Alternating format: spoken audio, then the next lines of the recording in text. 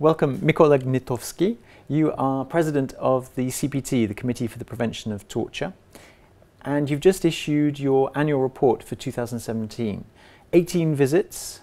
Is that more or, or less than in previous years? Well, this is generally uh, the normal number of visits 18 visits, 10 ad, uh, periodic visits, and 8 ad hoc visits, meaning that uh, in 10 cases we announced our general intention of carrying out a visit to a country one year before.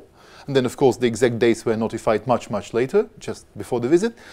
And in eight cases, we went to particular countries to follow certain topics uh, or to sometimes react to the developments in the country. For example, we went to see the situation with immigration detention to like Italy and Hungary. We went to see how persons were treated by the police to Serbia and Azerbaijan, and so on and so forth. So you've covered a wide range of situations in which people are detained uh, prevent, uh, deprived of their liberty. Exactly. And your general conclusions were that uh, you needed more effective complaints mechanisms, or at least greater access to effective complaint mechanisms for detainees.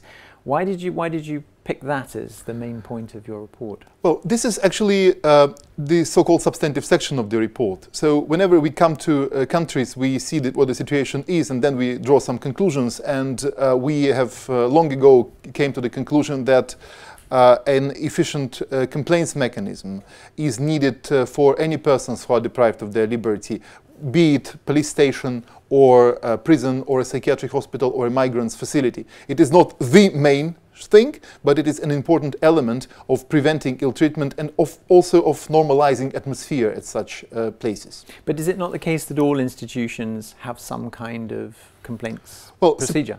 Most of them have some kind of complaints procedure. Some of them even don't have any complaints procedure. For example, when we went to Italy to see the immigration detention, uh, the situation in Lampedusa and other places, we found out that actually there were no effective complaints mechanisms available, unlike, for example, Italian prisons where such complaints exist and function very well.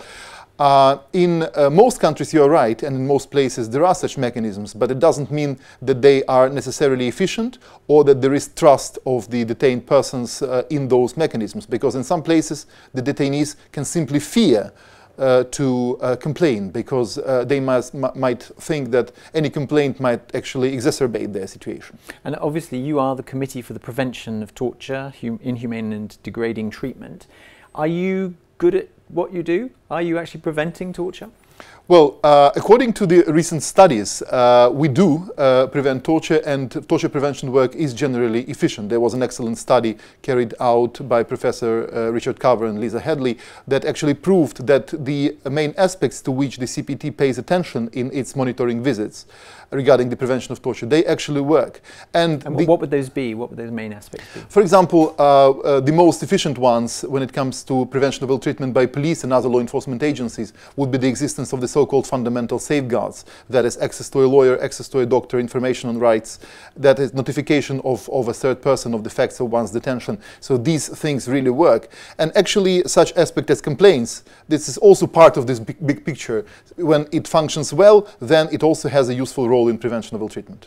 And as you visit uh, places of detention, are you seeing that uh, the institutions are increasingly implementing your standards, or is there still a lot of work to be done? Generally, yes, but, but again, uh, of course, there's, there's lots of work to be done uh, in many respects because still many countries uh, have, don't, don't uh, have uh, the professional police force which would use the uh, modern scientific methods and also the modern methods of interviewing persons, but in, they're still like in the you know in, in medieval times they would still be confession oriented, uh, and and that leads to a lot of ill treatment, and they wouldn't have any forensic let's say technology available to them, which also leads to ill treatment.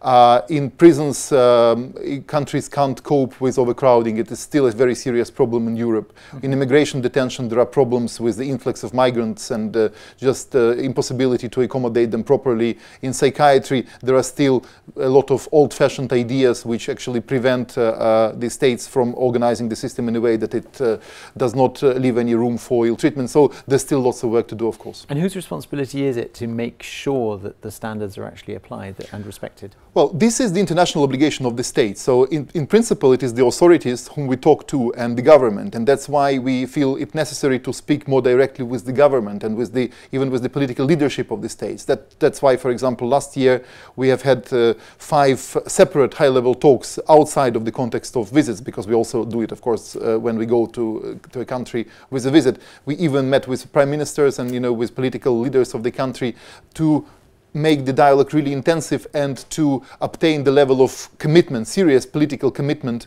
of those persons to uh, implement the recommendations of the CPT. And are you hopeful that uh, things are on a, an upward trend?